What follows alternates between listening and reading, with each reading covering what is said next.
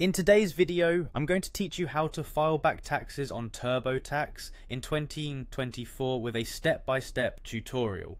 Filing back taxes can seem intimidating, but using TurboTax makes the process much more manageable.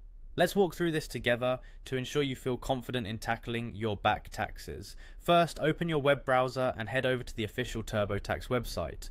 You'll notice their slogan, File Taxes Online, Tax Filing Made Easy, which is exactly what we're aiming for today. Once you're on the site, go ahead and look for the sign in button. It's usually quite prominently displayed. Click on it and log into your account using your credentials. If you're new to TurboTax, you may need to create an account first, which is straightforward and user friendly. Now that you're signed in, you'll find yourself at the TurboTax home. This is your hub for managing and filing taxes. Take a moment to familiarize yourself with the layout if you haven't been here before.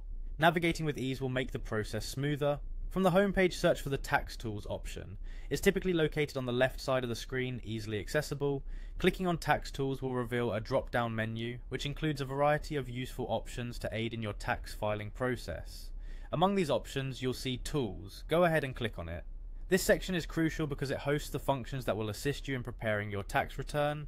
Next, look for the clear and start over option. This might sound a bit drastic at first, but don't worry. This function is designed to give you a clean slate if you've started, but need to redo your entry, or if you're amending previous inaccuracies in your return. Clicking clear and start over will prompt a confirmation to ensure this is indeed what you wish to do.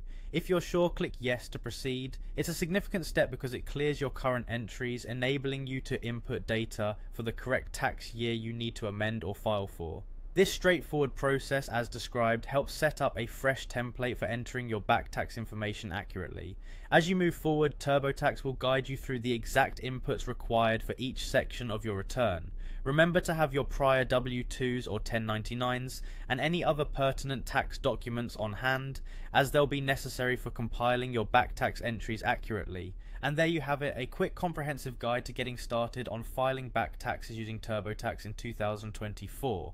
With this guide, you'll find the process much less daunting, giving you the assurance you need to tackle back taxes efficiently.